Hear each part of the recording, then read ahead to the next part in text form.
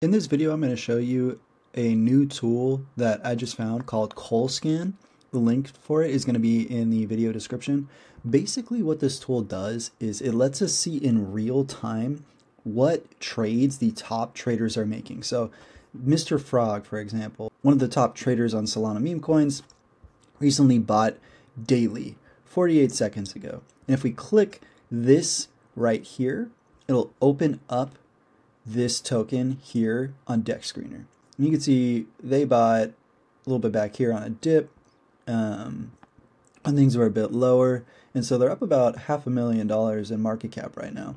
Really, this tool helps you to see immediately when large whale wallets are buying, what they're buying, and potentially find trends before they become trends. And this is a really helpful tool. It's completely free.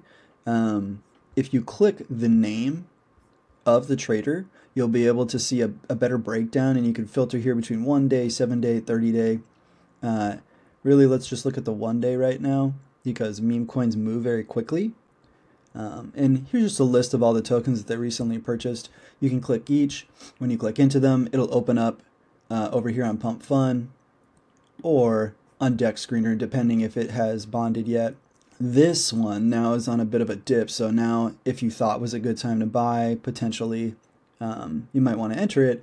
You need to do a little bit of research first. So another tool that I recommend you get for doing this research is called Token Spy. It's a Chrome extension. Click the button here on the website and add it to Chrome.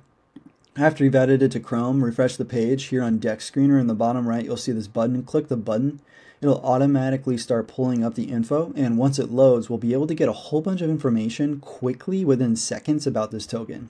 So the top holder has 12.62% of the tokens. It's probably the dev, is what I'm guessing. Basically, very quickly get a breakdown and can understand if this is likely to be a scam or a rug pull.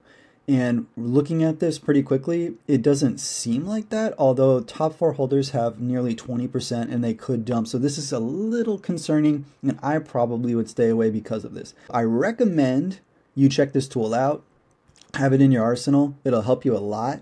Uh, especially in terms of quickly making decisions. This is a quick way to see if you should just move on and find another token or potentially buy this one.